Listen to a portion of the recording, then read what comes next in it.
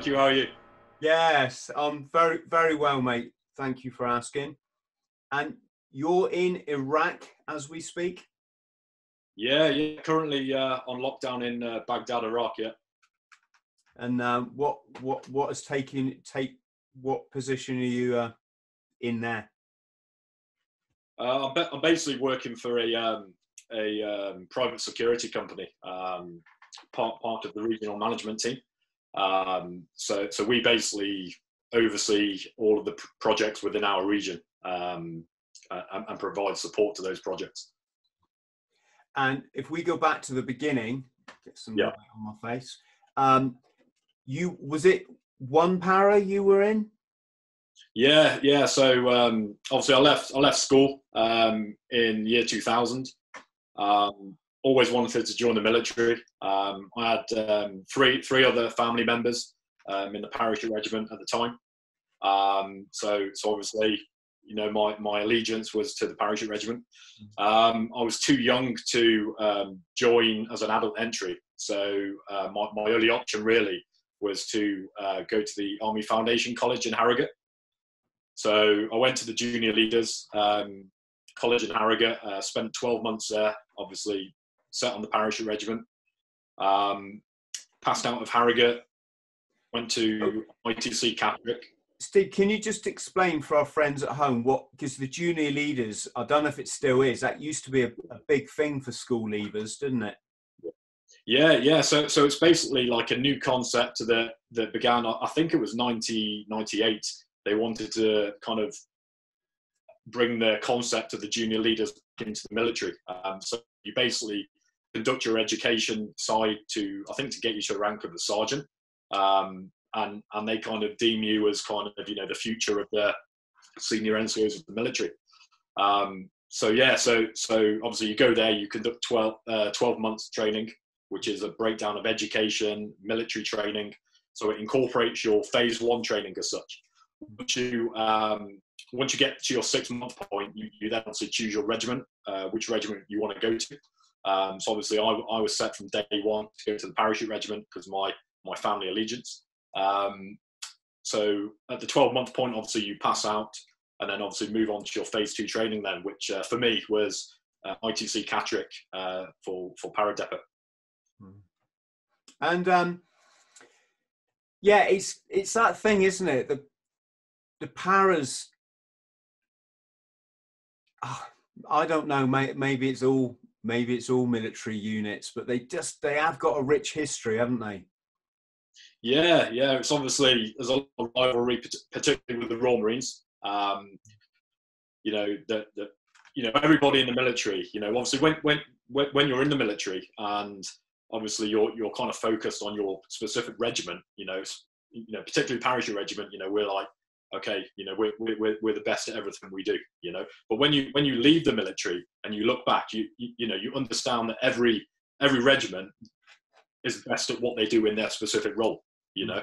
Yeah. So you know, uh, uh, and particularly moving into the corporate environment as well. When I left the military, um, you know, you, you work uh, a, a, wide range of people. You know, people from all different backgrounds from the military. You know, some people from from from different nationality, uh, military as well. You know, Australians and New Zealand and Americans. You know, so um, yeah, so you know, you you, you kind of get that greater understanding when you when you leave the military. I think about all the specific roles that people do. Um, but obviously, our role was was obviously a, you know an airborne light role. You know, so mm. yeah. Steve, can you explain for us uh, how is the para set up? Because we hear like one para, two para, like nine nine para and stuff. Can you just explain what the different roles they do are? Yeah, so so for example, for the parachute regiment, um, particularly when I when I joined, um, you had one, two, and three para. So so they're all, they're all the same just obviously broken down into three different battalions. Um, so one para, when I joined, obviously I went to the first battalion, uh, who were in Dover at the time in Kent, and two and three para were in Colchester, where, where they still are now. Um, so all, all the battalions were the same, just broken down because they can't put everybody into one battalion. Um, so so yeah, so so I was with one para for um, for four years, um, and then we we basically re-rolled in 2006 um, into the Special Forces Support Group. So then we basically moved from Dover, uh, moved to MOD St Athan near Cardiff, and uh, our our role then was basically to provide directing uh, direct specialised infantry support to UK uh, SF, um, SAS FVA. Was that all of one para? Uh, the majority of one para, yeah. So so it's basically a tri-service unit. So they took the core majority of one para, um, and then obviously we had a company of uh, Royal Marines as well. Uh, they they joined us in a, a, as like a commando company, and then we also had a platoon of RAF regiment um, who made up one of the one of the platoons in a in, in a rifle company as such. That sounds mental, doesn't it? yeah, you could never. Yeah, you could never have envisaged it years ago, you know. But and, and what about then? I've read Ant or I listened to Ant Middleton's book, and he talks about was it nine nine para? It's is yeah. it a, a, support a support? Yeah, yeah, yeah. So so so within 16 Air Assault Brigade, because um, obviously you've got you've got the logistics as well. Um, you know, 13 Air Assault logistics. You've got um, within 16 Air Assault Brigade, you've got uh, nine nine squadron, which is um, obviously Royal Engineers. Uh, you've also got um, seven para as well. They they call themselves, which is uh, seven RHA, which is the Royal Horse Artillery. Um, yeah, so so obviously you know you've got your artillery detachments, you've got your engineer detachments, you know you've got your your 13 air assault detachments as well um, that obviously make up the wider picture. Gurkhas. Yeah, yeah, yeah. Gurkhas. Uh, there were Gurkhas attached to three para. Um, I'm not sure if they still are, but but I know I know three para did have um, a number of Gurkhas attached to. Them. Have have the Gurkhas got their own? Would you call it a battalion? I'm not familiar with the. Uh, in the in the Marines, it's it, you're part of three commando brigade. Yeah. And then you have in my day it was three commando units. Um, yeah and I guess the Marines would be the equivalent of an army regiment. So yeah, yeah, yeah, that's right. Um, what we what we find with, or what I found with the with, the Marines, for example, uh, when we moved to St Athan, they're very self logistic. So you know they they kind of like you know that their guys you know could uh, could do a wide range of roles. So for example, when they come to St Athan, you know you you have people who have been a chef for the last two years, people who've been a driver for the last two years, and they're very self-logistic. You know, um, with the Gurkhas, obviously getting back to your question, um, they they tend to integrate them into like a company within three para, I believe. Uh, we we never had them in one para, um, you know, but I I do believe that they they did have them with three para. Mm-hmm. Wow.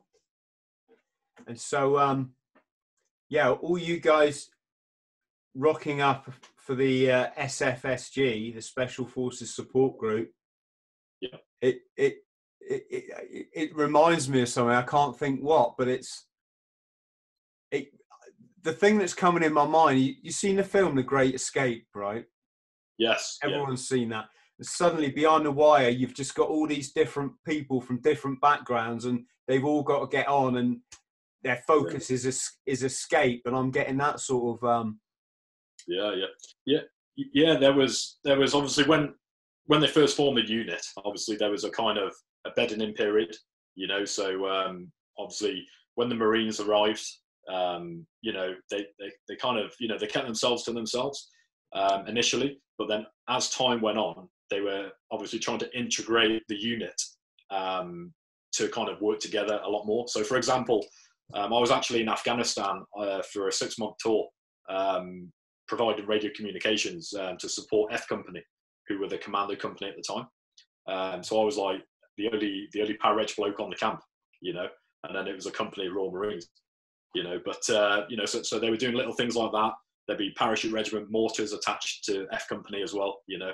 So they were trying to integrate it. Um, the the RAF regiment guys, they obviously made up one of the platoons within a rifle company, you know. So so it was easier for them to integrate as such. Mm. but yeah, but everyone had their role. You know, we had JTAC, um, you know, which is RAF, obviously forward air controllers.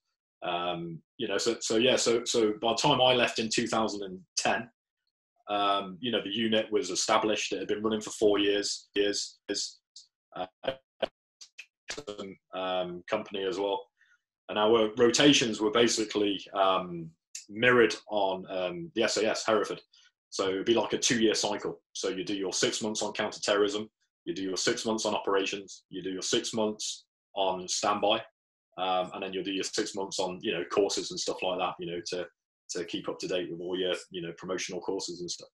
So it's like a two-year cycle. Was was everybody para trained? Everybody para Oh, sorry, we're getting some feedback yeah. there. Is it, yeah, is everybody para trained?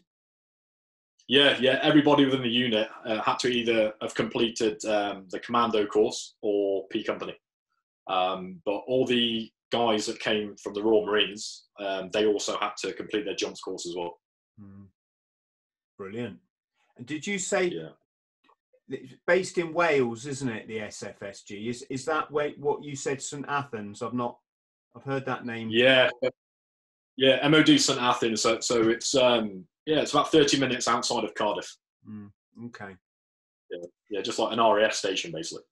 And how? What's the logistics like? I mean, do you sleep in Nissen huts or is it barracks? Is everybody mixed up, or do you sleep in your? You know, do you have two man rooms in your troop, or how how is that? No, because it's a, um, an RAF station basically. Um, it, it's kind of split down into two kind of camps. So you've got kind of East Camp that is where it's predominantly all the RAF. You know, they're, they're still doing their kind of RAF training as um, as such. Um, on West Camp, which is where we were, um, all the rooms are single accommodation. You know, single man rooms. Mm. you know, you have obviously you know your communal shower blocks and stuff like that. But uh, but yeah, because it's an RAF station, they tend to be single man rooms. You know, which was a bonus for us because in Dover it was like you know four man shared rooms. So yeah, and those um those blocks you're living in, uh, is it like a mix? Could you sort of have an RAF guy in this room in this room next to you and a Marine in that room there, or no, no, no. So, so for example, um, one of the blocks would be, say, for example, F Company, who were the commando company at the time. Um, you know, so, so they'd have their own kind of block. Um, the RF regiment guys, they would be in a block, obviously mixed with um, parachute regiment because you've got three floors. So you got obviously three three platoons in a company. So you know they'd be like in the same block. Okay. And what what weapons were you issued with as standard in the SFSG? Yeah, so so we started off obviously we had the normal um, SA80 A2 um, GPMG, you know the Minimi machine gun. Um, but then we did progress uh, to C8s and M16 variants. Um, you know, G3 as well. Um, you know, the, the radio communications equipment um, slowly kind of started to filter through because we were doing combined operations with you know, the SAS and SBS in, in Iraq and Afghanistan and other places. You know, we had to be able, we had to have the capability to communicate with them. So, you know, we had to have you know all the interoperable communications. Um, so the the normal radio communications that the Green Army have, for example, you know the regular army, um, you know we, we we were never issued that. You know when Bowman came out, you know we were ne- never issued that as a as a battalion. Uh, we went straight on to um, the Cougar radios, you know, for Northern Ireland. Mm. You know, Keystone, we were using those. And then obviously moving on then to all the SF radio communications equipment. Wow. Um, I'm just trying to. I want to get the SFSG covered in a one segment because then I, we can put that up as a separate clip. Clip, Steve, and that yeah. that that'll get a massive amount of um, interest. So, yeah, yeah. Can, can you give something without giving any operational um, stuff away because we'll get in trouble? Can you give us any ideas we'll just keep it anonymous, but but where they have worked alongside the SAS and SBS and what kind of stuff that it involved? Yeah, so um, predominantly the the main two locations were Iraq and Afghanistan. So um, we, as a as a unit, we deployed in 2005 um, in support of the SAS in in, in Baghdad. Um, and uh, the, the, the main role there was basically to provide uh, fire support and cordon control um, to allow um, the SAS guys, you know, to go in and obviously, you know, you know, do their job and uh, and hit their targets. Um, in Afghanistan, there was a multiple range of operations. There were there were three different operations in Afghanistan, separate to the regular army operation. You know, so so in Afghanistan you had um, Op Herrick, which obviously the regular army were on, and then we had another three different operations as well, uh, which were SF operations, which we were working on, which range, you know, from um, Helmand, you know, basically uh, one of them was a training task um, for the um, Afghan task force, basically, which was the Afghanistan uh, Special Forces. So part of our role on that was to deploy as a company group and um, split down at the location. So you would take half of the Afghan task force out on the ground, the other half would do training on the camp, and then you'd just keep swapping over. And, and it was an enduring operation, you know, for, you know, went on for a number of years. It was still going on when I left in 2010, you know, so it's like a training task. Um, then you had another couple of operations as well um, near Kandahar, um, working to uh, the SBS, uh, which was basically mainly our kind of support element, uh, like mortars and, and things like that, to provide obviously mortar support and and uh, you know uh, and other support to um, to the SBS. Mm-hmm. Can you give us a, with, again without giving any operational details away? But I mean, top secret details is obviously what I mean. Um, yeah. Can you give us an idea, Steve? What's it like when the rounds start coming down? What did you have any particular inst? Uh, if you're anything like the other SFSG guys I've spoken to, they say, Chris, we had loads. um, yeah, yeah, yeah, obviously, um, uh, Afghanistan. Obviously, that's that's uh, you know the the main place where obviously a lot of the a, a, a, lot of the activity was happening at the time for my time in SFSG anyway. Um, you know, because we had you know the four separate operations in effect you know um, in, in, afghanistan so um, yeah yeah afghanistan was interesting. Um, you know um, one of my in fact my my, my wife's cousin was actually uh, blown up in, in afghanistan um, which is how i met my wife. So you know um, obviously them being cousins. So yeah he, he he he was blown up you know and we we range from obviously Marja, Nadi Ali, you know Helmand. Uh, you know, we took part in the uh, rescue of a US journalist as well, uh, which we we unfortunately lost a guy, um, you know, on that operation. You know, to rescue. Are you, are you able to talk, talk? Are you able to to put us in your shoes, Steve? With that, I mean, what's it like when you're in, when you're in a forward observation base, or are you? No, in, so that operation, basically, uh, I, I wasn't on that particular operation at the time, but um, but basically, yeah, there was a obviously a New York Times journalist who was um, kidnapped. He had been kidnapped previously in Iraq as well, um, historically. So it was the second time he'd been kidnapped, um, and it was a joint operation with um, the SAS and and our, our, guys, obviously to provide support. Uh, they went in with a couple of Chinook helicopters when they when they landed, um, they landed into a hot DZ. So obviously, as soon as they landed, the rounds were coming in, and uh, we lost one of the guys, um, John Harrison. He, um, he he was one of the multiple commanders, and as he was coming off the back of the Chinook helicopter, he got he got shot in the head. And uh, but obviously to to keep the momentum of the attack going, obviously you know they've still got to do the job. You know, still got to complete the job and uh, and achieve the objective. Um, you know, they, they rescued the New York Times journalist, and um, I think the interpreter um, got killed in the crossfire as well. Um, but yeah, other other than John Harrison, obviously, unfortunately being killed, um, you know, we, we didn't sustain any further casualties. Gosh, that sounds full on, doesn't it? Bloody hell. Yeah. I, think it's worth pointing out um, again for our listeners that when when when you've got to win the firefight, you've got to suppress the enemy, you take casualties. You just got to leave them there. That you. Yeah, exactly. Yeah, exactly. Yeah, exactly that. You know, you have to. You know, you have to keep that momentum going. You know, you have to. You know, have that aggression. You know, you have to attack with aggression, with momentum. You know, and uh, you know, and have that one thought in your mind, which is to achieve achieve the objective. You know, that you've set out to do.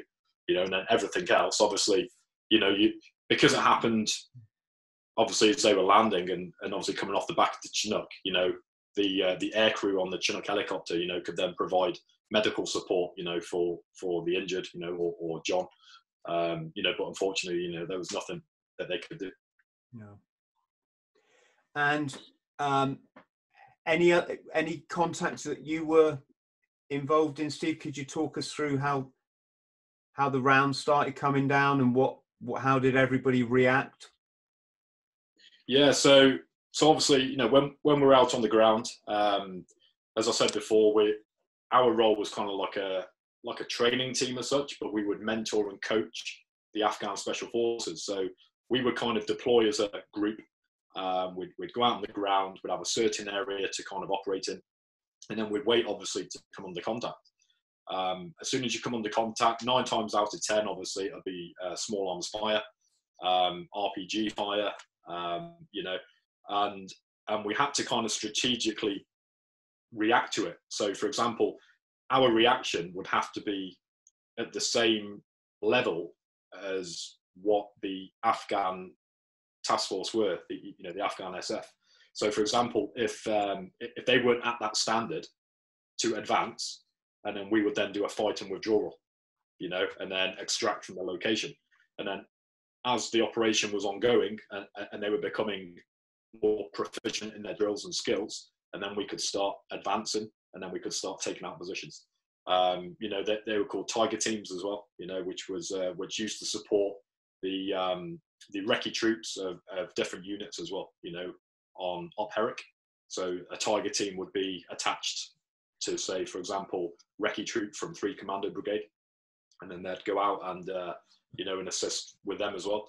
Um, when I when I left in um, two, 2010, they were they were at a good standard because we'd been working with them for for about four years, and um, you know we we could lead them to a village, you know, sit off, sit on the high ground, provide overwatch and fire support while the ATF went into the village. They'd have a certain timing to be out by, and obviously if they weren't out by a certain timing, then we'd go in and obviously you know, see what was going on. But uh, but yeah, re- you know, the ATF were a really good standard, you know, and um, they had their own they had their own rank structure, they had their own communications equipment. They provided the external perimeter security as well, not only for our camp but also for when we're in, um, you know, LUPs and stuff like that. You know that we we'd provide the inner security, they would provide the outer security. So there was that element of trust you know, that you had to trust them, you know, to, you know, because you hear the horror stories, obviously, checkpoints, you know, when, you know, they turn and, you know, open up on, you know, on friendly forces as such. Mm. But, um, but yeah, you had to put a massive amount of trust into them, you know, and we built up because it was such an ongoing operation. Whereas, for example, the Green Army, they would have um, a six month tour to kind of build up that rapport with the, um, you know, with the police, Iraqi police or Afghanistan police. Whereas because our operation was ongoing for years, it's just an enduring operation. We, you, you know, a company would would go through their rotation, and then a year and a half later, a company would be back going through the same rotation again with the same guys. So, wow. so you had that opportunity to build up the rapport, you know. Yeah. You know, so you could like con- continuity. Yeah, exactly. Yeah, exactly that. You know, you could increase that trust, and um, you know, and it worked well. It, you know, it did work well. What we did find what was happening as well. So we'd come under contact, for example. Um, you know, so, so it'd be contact front. Um, you know, you react to the enemy fire. Um, and, and what the Taliban were doing, because they knew exactly what we would do. They knew that we would return fire. We would speak to the JTAC and we would call them for fast air to take out their position. So, so they, they obviously cottoned onto that. So, so, so they kind of amended their tactics. So as soon, as soon as we had contact front, we return fire and then they would left and right flank us so that we were kind of like imagine a sandwich we were like the meat in the sandwich and the taliban were the bread either side so we were in the middle so as soon as we called in for fast air the fast air couldn't drop because obviously the risk of a blue on blue because we were in the middle of it. So then, in effect, you then got contact front and you got a contact rear. Hmm. So you've got two separate contacts, but the fast air can't drop because we're in the middle of it. That that sounds incredibly. Uh, I don't know if frightening is the right word, but you you you you you're getting overrun, and you can't. Yeah, yeah. And you can't call in air support. So very shortly, it's going to be fixed bayonets yeah, yeah. And it's every maybe even every man, not every man for himself, but you know, it's going to be hand to hand combat. Yeah, exactly. You know, and, and a lot of the time, you know, because we were obviously we are out on the ground for like a month at a time sometimes, you know, up to four weeks, you know, out on the ground. Um, you know, then we'd go to different FOBs, you know, forward operating uh, bases, you know, to resupply and stuff like that, and to, you know, to conduct our admin. Um, you know, but uh, but our our main kind of concept was literally return fire, call in fast air, fast air will come in, obliterate them, and then we continue on task. You know, but obviously the Taliban reacted to that and then obviously amended their tactics. You know, to facilitate, um, which then made it more difficult for us. So because you, you can't even would you call it exfil when you get extracted you can't call a chopper in because they're all they're going to shoot the chopper down as well yeah, exactly. Yeah, yeah, exactly. I, um, I'll give a good example. Um, I touched on it earlier. My, my wife's cousin, obviously, he was uh, he was seriously injured. He was blown up. Um, had three operations um, in Afghanistan before he even got out back to the UK to Selly Oak. Um, and you know, the wagon, the the uh, vehicle was basically cut in two because of the, the, the force of the blast. So you can imagine how big the blast was. Um, so he obviously was um, extracted. However, because there were troops in contact, the the British military, the British RAF, they, they wouldn't they wouldn't come in to extract him. So because of obviously the risk of a, a helicopter being taken down. Mm. Um, luckily for him, there was um, a, an American call sign in, in the general area, and they and they heard it on the communications. So um, a Pedro call sign they were called. It was a Pedro, which was American Black Hawks. So the American Black Hawks actually came in to extract him out, you know, and if they didn't, he probably would have died, you know, with uh, blood loss. But hmm. um, but yeah, so so it just shows you everybody has a role to play. And did you get the call to fix bayonets? No, no, no, no. I didn't. I didn't. The, the, the, the only probably the nearest time we came to that, to be honest, um, was in 2003 uh, during the uh, Iraq inv- uh, invasion. You know, um, we had a situation. Uh, there's a book out about it actually called "The Last Round" by Mark Nicol, and uh, we were in Al Kabir Al Jamar in um, in Al Amara, Maysan province. What, and um, were you with? This was FS S, SFSG. You were with then in Iraq as well, yeah. No, this was uh, before we re-rolled. So this was 2003. So this is what one para, yeah. One para, yeah. yeah so yeah. so that was my first. Yeah, that was my first operational tour. So um, so obviously, you know, I passed my training. I went to one para, and then literally a few months later, that we then deployed to um, Kuwait, and then subsequently onto Iraq. And um, and we, you know, the tour itself, not much happened to be honest with you you know, we were kind of, you know, it was more of a, it was more of a war for armored infantry rather than a light role like ourselves. Um, you know, we did do a parachute jump um, in Kuwait to prove our capabilities to the Americans if required, and we came very close to uh, conducting an operational parachute jump as well. Uh, but it got cancelled at the last hour, basically. You know, which we were all obviously disappointed yeah, we were disappointed. You know, you know, we are going to do like one of the first operational jumps for years.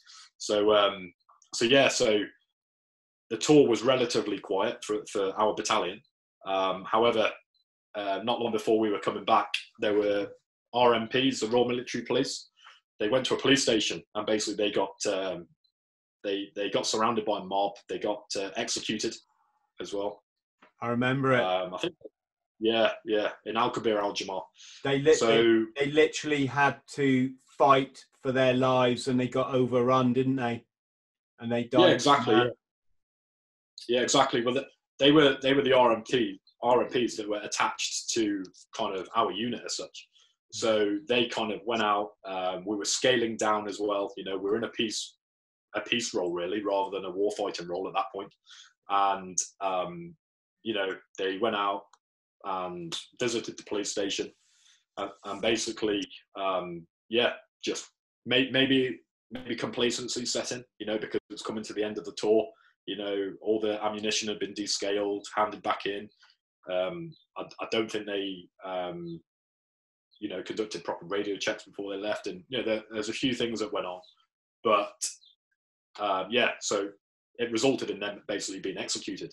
Uh, but in the same town, at, at the same time, we had um, a couple of multiples on patrol from from one para, and they they obviously came under contact, and then they extracted into a building, and uh, and then they got surrounded as well by by a heavy mob uh, we, we, we requested that the household cavalry came in to, to try and you know get them out, but because of armored piercing rounds, they couldn't do it. So our machine gun platoon uh, with the uh, the WMIK vehicles with a 50 cal, obviously that that vehicle went in, you know, with the machine gun um, section and basically um, dealt with the situation. And then we managed to get our guys out, you know, and you know, no one injured, no one killed. Um, yeah, but other than that, that was kind of um, you know that, that was quite pro- probably our most serious incident in in Iraq during, during 2003. You know, for our battalion anyway. Mm, my God. Yeah, I, I, I say those guys. You guys must have been gutted because it's um, was it the Second World War? Was the last operational yeah. jump, and it would have been just a chance to to have a real part of para history, I suppose. Yeah, exactly. You know, and and we'd proven the capability as well because in like I touched on in, in Kuwait, you know, we had to do a parachute jump in full NBC kit as well. You know, our NBC kit over our deserts. You know, which turned our deserts black for the rest of the rotation, pretty much. Um, but yeah, so so you know, we did the jump to prove to the Americans. Um, so we were, you know, we were well placed to do it. But I think eventually, I think the government thought, you know, a Hercules with up to 80 paratroopers, you know, it's too much of a risk, you know, and, and, and the likelihood of the, the Hercules possibly being, you know, shot down, you know, it'd be a massive loss. Mm, of course, yeah. Wow. Yeah, so it got cancelled. And so, how, what year did you join up, Stephen? What year did you leave? Yeah, so um, I joined up in 2001. Um, I did my year in Harrogate. Then uh, I passed out of uh, Catterick 2002. And then obviously, so from 2002 to 2006, um, obviously I was one para. And then from 2006 to 2010, obviously one para SFSG. And then I left obviously um, April 2010. And then since then, I've just been working in the commercial world, um, private security. How many jumps did you get in during all, all of that time in the military? Uh, I did eight jumps on my parachute training um, to, to, to get my wings. And then I did a further, I think it's a further 12 jumps in total. Yeah. Yeah, further 12. Yeah. Um, I'm guessing you joined after the when they got rid of the balloon, right? And was it the Skyvan that yeah. they had? That's right. Yeah. So um, yeah, obviously balloon was before my day, um, but yeah, they've got a Skyvan. So before you jump out of the Hercules on your parachute training course at Brize Norton, um, they send you up in a Skyvan. So I, I, think there's about four, four or five people can fit inside, mm. and you basically you're in this Skyvan. It's like a box with wings, basically, and uh, you just kind of step off, and it's just like a sheer drop. You know, whereas in comparison to a Hercules, when you jump out of a Hercules, you kind of obviously you're falling kind of diagonal. You know, because but with a uh, Skyvan, you just kind of just step off and just drop, you know. So, but yeah. And and just on while we're on the subject of the the, the balloon jump, which is um, I'm lucky uh, lucky enough to have done two of them. Is, yeah. is has that become part of like para history now? Do people go, oh, back in, you know, is it something they look back at fondly and wish that they could all do, or is it just Yeah. that's what the old guys did and we moved on? No, there's always been that obviously uh, stigma attached, you know, to you know, like P Company, for example. P Company years ago, I believe, was obviously set out slightly different. They used to do basic whales and, and, and different kind of speed marches, and they've kind of altered P Company to facilitate the modern era paratrooper. Um, you know, so so you get obviously the old and bold. You know, they're they're like okay, P Company back then was a lot harder you know the P company staff are like no it's still the same you know so uh, but yeah like as for the balloon jump you, you know you'd like to do it to be able to say to the older generation yeah you know we did that you know but uh, but times change things move on you know and, and different concepts obviously come in and i'm sure the next generation will be talking about the skyvan and saying oh i wish we could have done the skyvan you know like the last generation yeah. Yeah, it's the whole parachute course. It's I don't think you could ever put it into words for someone who hasn't hasn't done it. That there's it, it it's interesting as well because it's something that is associated with freedom, which is like your skydiving and your parachute. You know, you throw shab out of a plane, you're free, you're, you're Yeah. flying, and well, a version of flying.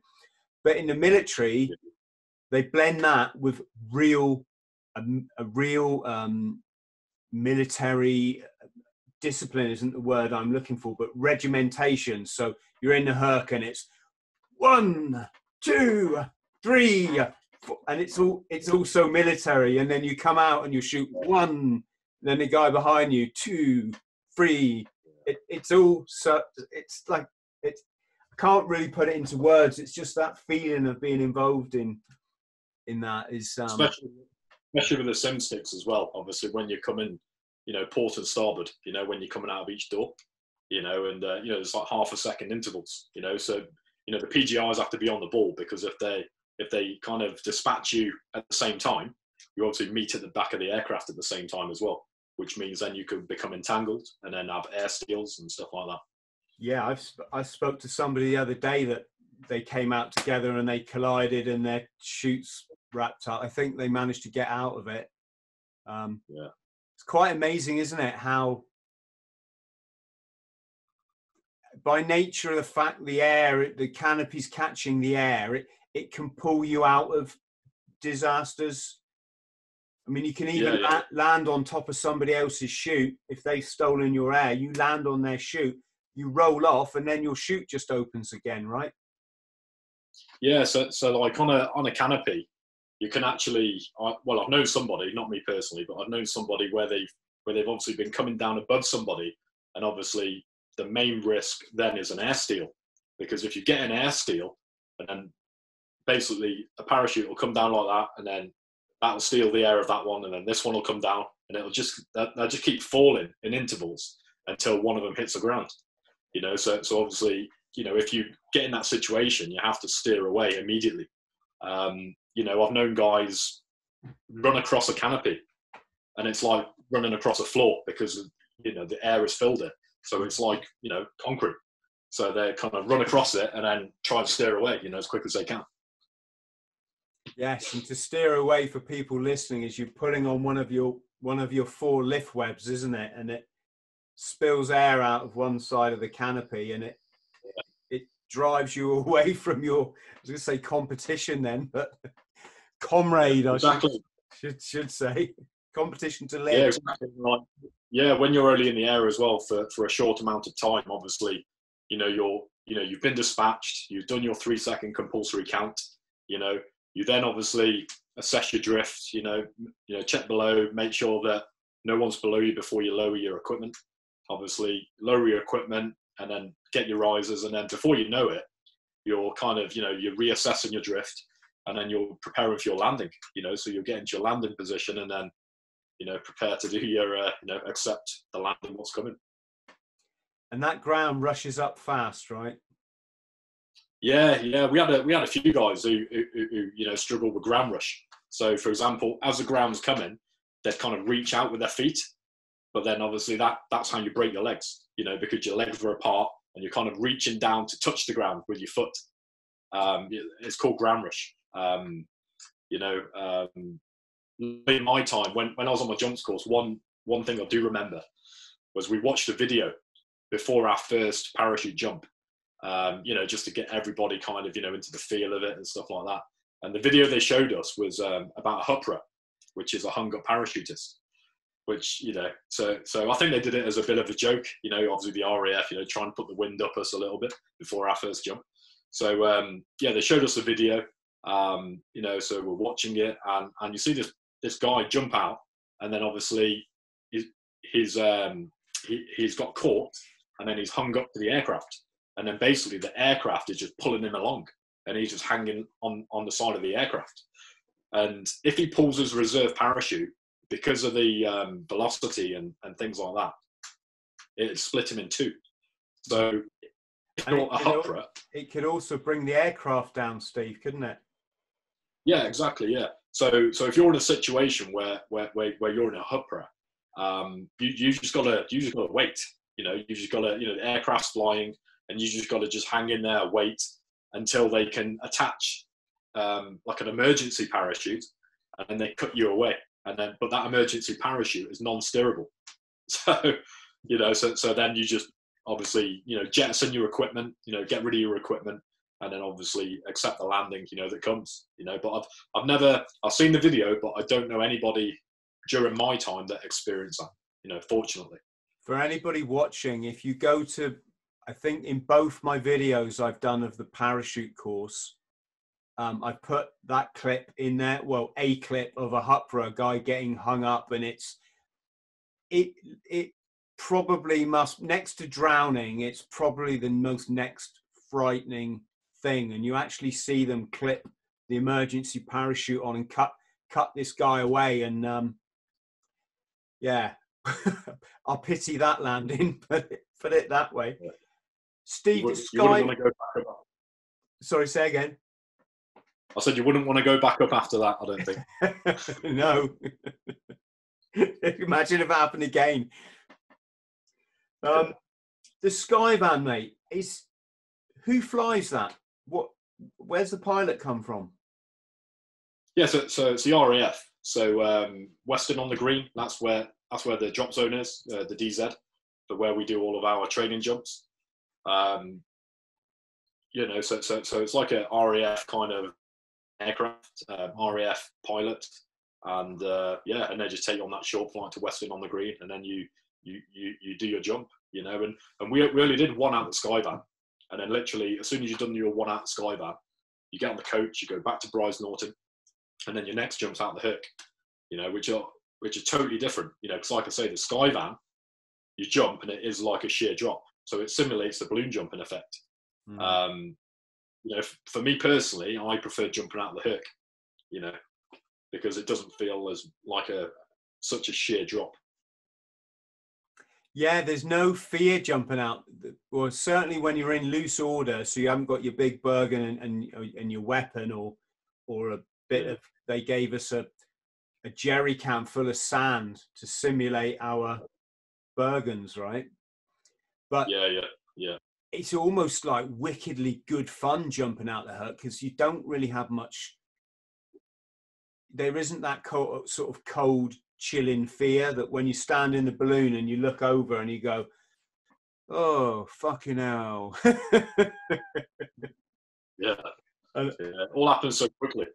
Yes it it it, it remind it, it's remarkable it's got remarkable similarities to when they used to hang people in the prisons and it's like right, come here now, bang, and before you know it, it's that that yeah. that was like the parachute jump. It's like right, number one to the door, okay, go, arms across your reserve, go. It was also it was also quick. Did you do an? You must have done a, a night jump. Yeah, yeah. So, so during your uh, parachute training course, um, you, you you have to do one night jump and then obviously on, subsequent exercises in battalion, you, you you know you jump at night as well, quite quite a lot of the time. But I found, for me personally, I found my best landing the night jump because you're more relaxed when you're coming in for your landing because you can't really see anything. So you're not kind of tensing up, getting ready for impact. You just kind of just keep your legs together and just wait for the impact. You know, um, so I so I found for me personally, my my best landings and most comfortable landings were the were the night jumps. Did you did you have any accidents, or did you see anybody have any accidents, Steve? Uh, yeah, on on one uh, one particular exercise actually, um, 2004. Um, we we did an exercise with uh, with two para, basically joint exercise in Scotland at West Freugh DZ. So um, obviously we were weighing the equipment and stuff like that, and you know all of this equipment had to be had to be taken, you know, had to be on the ground basically. You know, so so we had communications equipment, we had mortar equipment, we had, you know, all sorts of machine gun equipment. So so the weight of our equipment was was crazy. You know, it like weighed more than our own body weight. Um, so we were at South Cerney. Uh, the RAF PJIs obviously they they weighed the kit, and and and for my particular container or my Bergen, they they said it was too heavy. They said you can't you can't jump with this. This is this is too heavy. Um, however, the equipment was important and it had to be on the ground. So uh, the sergeant major at the time, he, he basically said, no, it goes, it has to go. So they said, okay, no problem. So it took two of us, me and another guy, to carry it from the hangar to the aircraft because I, I can carry on my own. So um, obviously we got onto the aircraft. Um, we're flying around, obviously flying to Scotland to uh, West Freugh DZ, I think it was. And um, so we're on the aircraft, and obviously, you know, we get told, you know, stand up, fit equipment. So we stood up, you know, connected the equipment, and uh, obviously, because of the weight of the equipment, you know, I, I couldn't stand straight. I could only be kind of like leant forward as such. But the guy, the guy in front, because everybody was having the same kind of problem, they were kind of sitting back and they were sitting on the container, your container, as like a rest station. But when they're sitting on your container, that's pulling you forward even more, which is putting more strain on your back. So anyway, so I told the guy in front of me, I said, you know, can you get off the container? And, and he was like, yeah, yeah. And everything's chaos in there, you can imagine. Um, so, so, so I grabbed the container and I pulled it. I, I kind of straightened my back as much as I could. And then I felt something go in my back, which t- turned out to be a, a prolapse disc in my back. So um, yeah. So so obviously I, I kind of felt that shooting pain and it went down my back through my legs and I knew something was seriously wrong. But I knew as well at the same time that equipment had to had to be on the ground, you know. So so so I, I kind of told myself I was like, okay, I've, I've got to go out the door because that equipment has to be on the ground to support this exercise. Um, so then obviously you get action stations, you know, so you're moving forward. So I, I'm starting to move forward with, you know, I can't remember the exact weight of the kit, but it was, you know, it was horrendous amount. Mm. Um, so we're moving forward towards the door.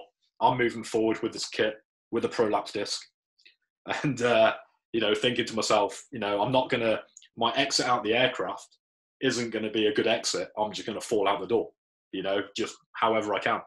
And as I was moving forward, uh, the, PG, uh, the PJI obviously noticed that there was something wrong. So he kind of used his initiative. Uh, he kind of came up, he quickly unhooked me, and then obviously pulled me to the side, and then everybody went round and then went out like. And then they flew me, um, once everybody had exited the aircraft, they then um, flew me uh, from, uh, back to um, RAF Lyneham, where they had a medical facility. So they flew me to RAF Lyneham. There was an ambulance waiting for me on the um, on, on the pan, uh, because they did a test on my knees. They they basically got like a like a little hammer, and then they hit you on your knee, and then obviously your legs should react to it. But when they were hitting my knee, there was no reaction whatsoever.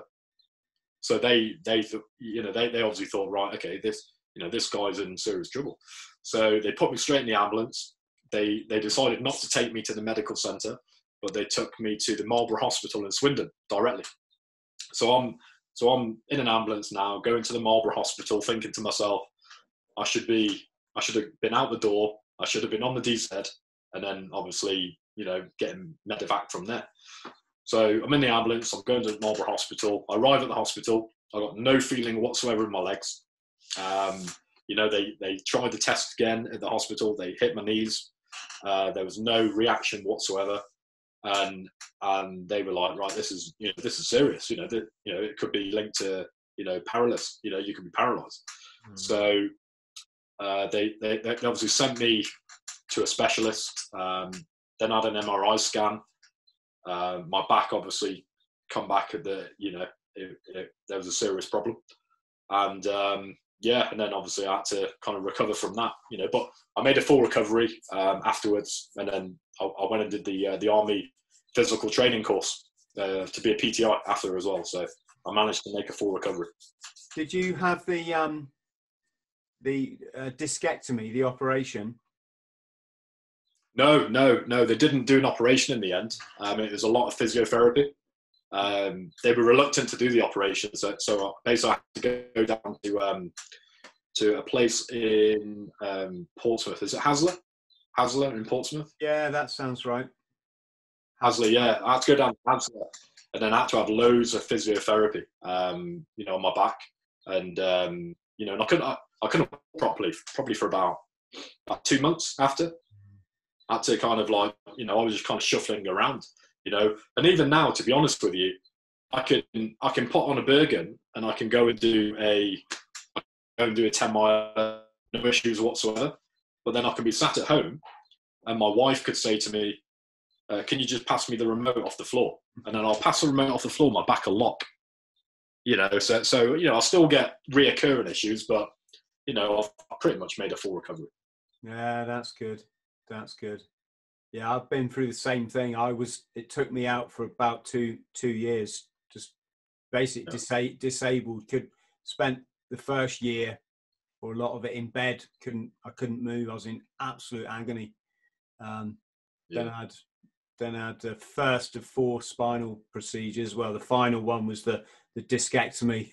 wouldn't I wouldn't wish that on anyone. That that whole process so painful so painful. So, how did you, um, when you left, how long before you got involved in the security industry? Yeah, so so when I when I signed off from the military, um, you have to obviously give a year's notice. So my thoughts, as soon as I signed off, um, I, I, I knew what I was going to do. You know, I, I, I knew the route I was going to take. And uh, to be honest with you, I thought I'd probably only do it for a couple of years. You know, generate enough finances to you know to buy a house, buy you, know buy a property, get on the property ladder. Because uh, my obviously my my wife, well, she's my girlfriend at the time, but um, she was pregnant as well when I was when I was getting out of the army. You know, so like my family were saying to me, you know, you know, are you crazy? You know, your your your your girlfriend's pregnant. Um, you've got no house and you're leaving a secure job in the middle of a recession. you know, and they said, I think you're crazy. And I was like, no, I said, I know what I'm doing. Just leave, leave it to me. And um, yeah, fortunately for me, um, obviously, I, I, left the military. Um, I went to London, had an interview um, with a with a British company, and um, they offered me a job uh, straight away uh, in in Basra in Iraq as a medic.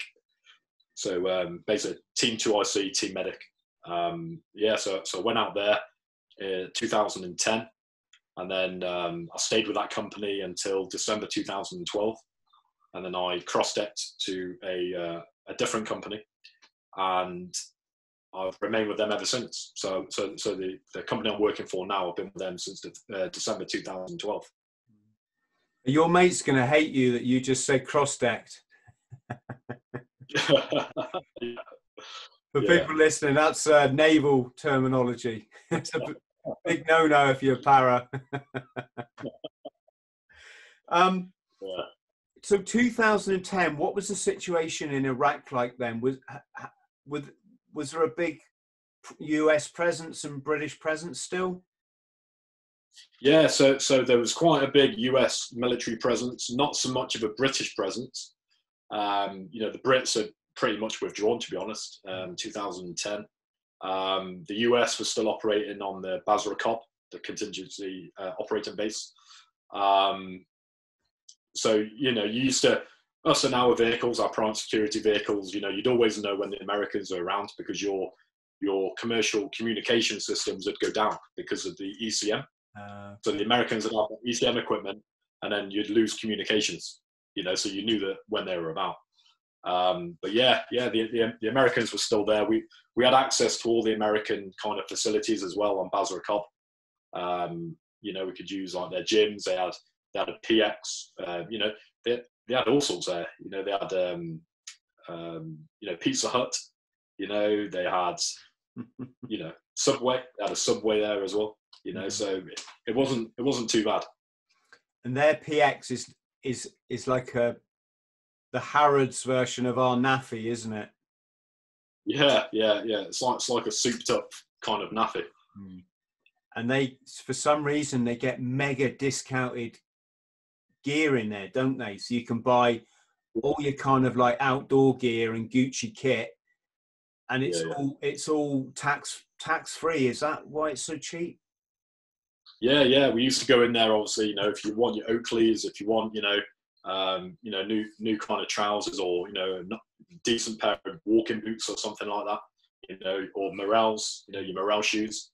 Um, you know, you, you just go straight to the PX, you know, and, and, and it's pretty much like duty free. When you were the uh, uh, the med- medic, then Steve, were you were you doing convoys or were you sort of es- escorting um, businessmen around? What what was your role? What was your team? Uh, yeah, basically, yeah, so so basically, we, we were escorting um, clients around. It was an oil and gas project. Um, I, have been quite fortunate. I've, I've, not been on kind of convoys. Um, all the projects I've been on have been oil and gas. Um, you know, working for two different oil and gas companies. Um, so yeah, so, so basically, you know, we'd pick up our clients in the morning. You know, we'd know the location we're going to. We're taking for meetings. Take them maybe to like like oil wells, water wells you know, take them there, push out, give perimeter security, let them do their job, put them back in the vehicle, and then obviously transport them back to, um, you know, back to Basra Cob, you know, to the accommodation area. Mm. And did you have any? Um, did you have any hairy moments? My one of my oldest, well, not oldest, but oldest friends, as in from the military, um, he was escorting a client to a, I think it was a, a, gas station or some sort of power station in Mosul, and they hmm. got they got ambushed by something like let's just say 17 pickup trucks appeared from the back streets, all um, obviously full of full of armed men, and uh, it was just him and another marine escorting this guy. So obviously they had no chance. Um, their their they pulled their vehicle across the road, so they cut all these pickup trucks off from their client, who then who was able to escape, but they were both obviously shot, shot, shot dead, and um, I think they then took their body. According to another one of my best friends who went to receive this chap's body at the airport, it it mm. wasn't very nice what they'd done to him, you know. Yeah, yeah. Um, as for like kind of contacts and stuff like that, I, I've been I've been quite fortunate to be honest. Um, the main the main threat really I've kind of come into personally on a personal kind of um, opinion is IDF. I, IDF um, is basically indirect fire. So um, you know you, would have the insurgents. You know they'd want to they want to target a important facility. So for example, Basra Cob because they knew that the US were there, you know, the US forces. So they, they were pr- primarily the main target. You know, the, the private security companies were not the target. Um, they were aiming more for the Americans. Um, so yeah, we'd have the IDF come in. One of, one of the rounds la- landed in one of the, the, accommodation areas where I was um, and my team, my 2IC, and it took out a whole row of the accommodation block, which was um, a 107 rocket. Wow. Um, yeah, so so we were really lucky, um, you know, to to kind of escape that. To be honest, um, but, yeah, mainly mainly IDF. You know, um, I've been quite fortunate. Uh, there was a there was an incident in Basra with the first company I worked for, um, which impacted a different team, uh, but I was in the general area, so uh, the team were basically approaching a roundabout near a mosque in uh, Basra, and um, they, they they set off an EFP, electoral um, uh, device, Hmm. and uh, so so basically a stronger variant of an IED. So you have an IED and an EFP. The EFP is is a lot more kind of powerful, and uh, it's designed. It was propped up to basically cut through the whole B6 vehicle. So it'll come in through the bottom and it'll exit through the top, and anything in that vehicle it'll just cut through. So the uh, the local national driver, he um, he obviously died. He his his hand was found a few hundred meters down the road on the floor. Um, the uh, the British expat, uh, he he sustained quite serious injuries as well. Um, so, so so yeah, but uh, yeah, you know, you get you get the odd incident like that. Um, one of the main threats as well is like an RTC, believe it or not, you know, because of the driving standards. Um, you know, so you know if you if you flash, you know, to to uh, to to allow somebody to go, you know, they won't go. If they flash you to go, it means they're flashing to say like thank you. So you you never know where you stand, you know, on the roads with the driving. Um, but yeah, so so yeah. But as for contacts, you know, I've me personally, you know, I've I've been quite fortunate. Mm. Are you able to tell us a bit about what what you're doing now now, Steve? Yeah, so so at the moment I'm um, I, I'm basically part of a regional management team, um, working for an international company, and my my role is basically to oversee um, the the number of projects we have in the region, and basically provide um, the link. So I'm like the link man in a way between like the project managers and like the regional operations manager. So I'm like in the middle. So you know I try and assist them as much as I can. You know, and and I you, you know I kind of add a bit more kind of bandwidth. You know, to to the RMT as such. And what kind of clients have you got? Yeah, so so because I'm in the RMT, we we, we basically obviously because we oversee the projects, we have a kind of multitude of, of different clients, you know, different nationalities, you know, you know, re- ranging from you know uh, Russians to Americans, you know, to Europeans, you know, Australians, you know, a wide range of international kind of different clients. You know, we we kind of look after. And how's the security situation there now? How's how's the peace? Have, have they have they retained any level of you know uh, is I don't know if normality is the right word. Yeah, so um, obviously the start of the year, uh, we had the incident in Baghdad with uh, Soleimani, who who was the Iranian general. Uh, he was Ah, yeah, so he was he was taken out basically on the uh, on the road leading up to and leading out of um, Baghdad International Airport, uh, the BIAP.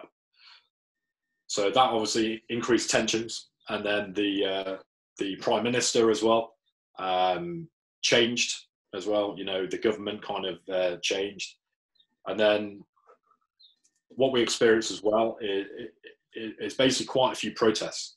So particularly during COVID, you know, the coronavirus as well at the moment, because obviously we have curfew, we have lockdown. Um, you know, it's impacting on obviously the the, the local communities. Um, you know, so so you do find that you do get a lot of protests.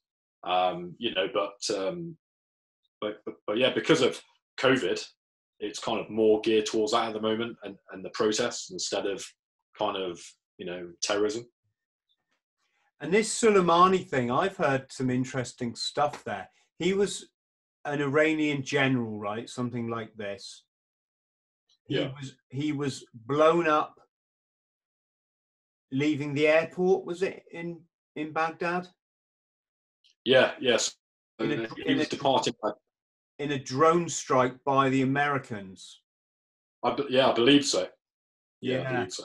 No, I heard a, that the, the official story, which I think we're all old enough now to know is never really the true story. But the official story was like he was really anti-American, and and this guy, you know, he's planning to take American lives. He's got to go. The, Yeah. the, the the story that was that was doing the rounds though was that he was anti some oil deal Mhm. between the Americans and Iran. Um, he was like, you know, no, we're not doing business with the Americans, and so I'm just for our friends at home showing you there's always there's always two sides to um, well, not even two sides, but there's always al- alternate ulterior reasons behind military strikes, and uh, yeah, interesting. Yeah. So, Steve, I'm going to thank you ever so much, mate, for joining us and sharing your story. It's problem lovely, lovely to talk to uh, one of my brothers in the Paras. Yeah. Um, it was brilliant throwing myself out of aeroplanes with you guys. I, I one of the, just really lucky. I've done some like yourself. I've just had that that opportunity to do some great great things in in this life. So Yeah. keep in touch, mate. Let us know how it all goes. Um, there'll probably be a load of questions for you on um, on YouTube when this premieres. There'll be a live chat if you if you're not on duty or whatever, and you can come and answer a few of the, the guys and girls' questions. I think they'd um, they'd Yeah. appreciate that. But don't feel I don't know what the t- I don't know what the time difference is, so uh, Yeah. it might. we're, might- we're, we're, we're two hours ahead um, of the UK over here. Oh, that's not too bad. Well, it'll be about ten o'clock your time then, so that's not too too horrendous. Um, Yeah. So thank you, thank you ever so much again, Steve, and to our Yeah. friends at home. Massive respect to all of you. Thank you for watching another edition of the Bought the T-shirt podcast. And if you could like and subscribe, that's going to help. Hello, friend. I hope this finds you well. My name's Chris Thrall. I'm a former Royal Marines Commando, and I fought my way back from chronic trauma and addiction to live, work, and travel in 80 countries across all seven continents, achieving all of my dreams and goals along the way.